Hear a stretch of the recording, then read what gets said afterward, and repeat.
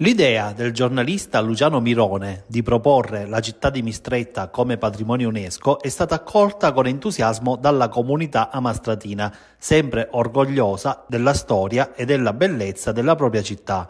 Città che negli ultimi decenni, causa una serie di problematiche, ha conosciuto uno spopolamento inarrestabile e vive un periodo di crisi difficile da superare. È stata promossa anche una petizione online per il riconoscimento del centro nebroedeo come bene UNESCO da parte della Prologo e le adesioni sono state più che massicce.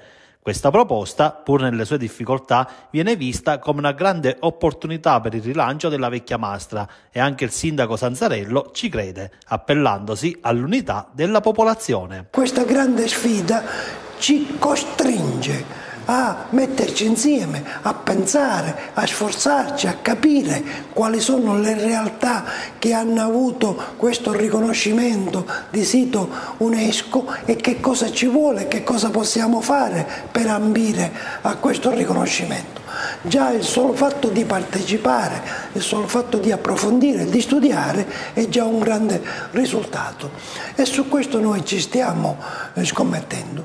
Abbiamo già avuto, abbiamo fatto dei coinvolgimenti, la raccolta firme è una cosa importante, abbiamo molte adesioni anche autorevoli per cui ce la metteremo tutta anche in questa scommessa.